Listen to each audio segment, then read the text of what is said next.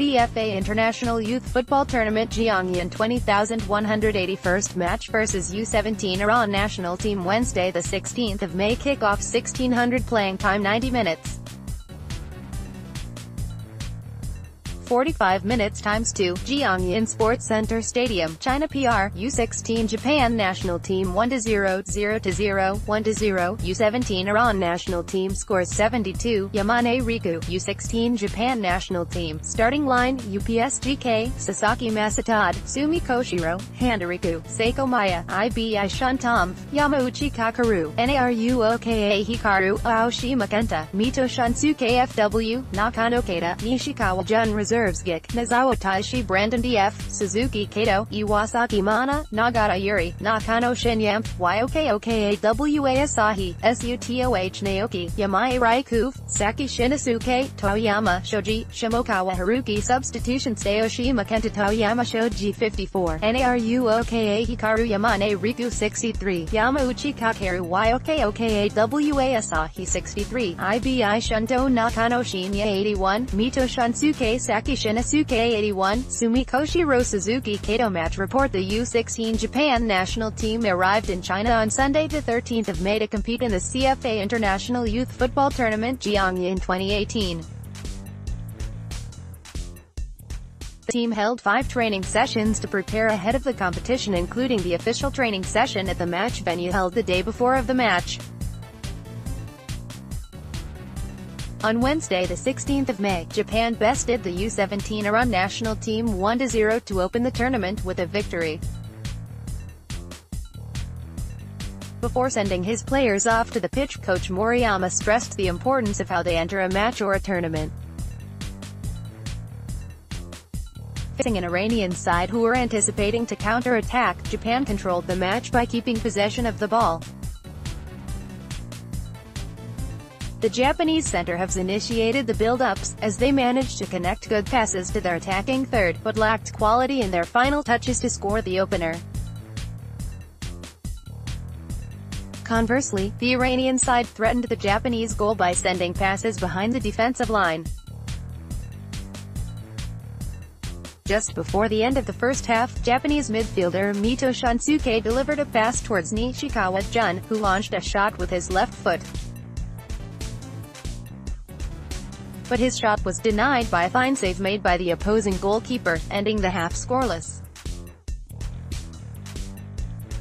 The match remained scoreless deep into the second half, but the deadlock was broken in the 72nd minute, when Nishikawa earned a free kick in the attacking half. Substitute midfielder Yamane Riku attempted a direct shot from the spot kick which the Iranian goalkeeper was able to get a hand on the ball, but the shot carried enough momentum to find the net. Following their opening goal, Japan continued to attack strongly, but their efforts came short from extending the lead. In the 86th minute, forward Nakano Keita delivered a shot from a free kick earned by his fellow forward Toyama Shoji, but his attempt was denied by the goalpost. Iran came close to leveling the match as they broke through to create an one-on-one situation but the Japanese goalkeeper Sasaki Masato made a superb save to keep the one-goal lead intact. With Japan keeping a clean sheet the match ended with a final score of 1-0. Japan earned a very valuable clean sheet victory, but the match exposed many flaws as well. Japan will now face the U-17 Kyrgyz Republic national team on Friday, the 18th of May. Players comments DF Our opponents stayed deep in their half-to-play defense which allowed us to keep possession of the ball, but we struggled to finish with a shot. Made many mistakes in the first half, which gave opportunities for our opponents to counter-attack, but our goalkeeper and defense played well to keep a clean sheet. We managed to score from a free kick, but we were unorganized in the closing minutes of the game, so we must be able to close out the match better in our second match. MF I personally felt the need to be able to adapt to pitch conditions like today, and make good decisions within the given circumstances. We kept good communication among ourselves on the pitch but we can still deepen our combinations by playing more matches together. We would like to win the remaining two matches and win the title so that we can improve ourselves both as a team and as an individual. MF We entered the match in a great fashion, and kept our possession in the opposing end.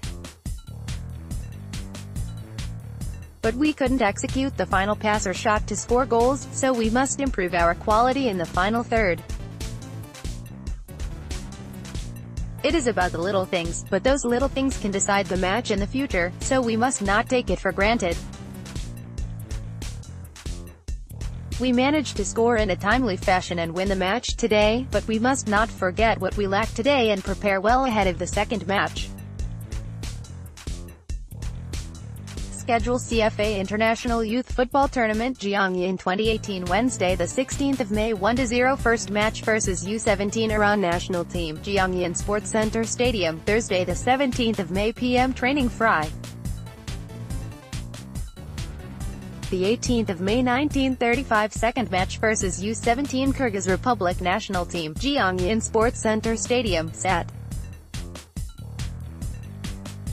the 19th of May TBC Training Sunday, the 20th of May 1935 third match versus U17 China PR national team, Jiangyin Sports Center Stadium, local time The schedule is subject to change due to the team condition, the weather, etc.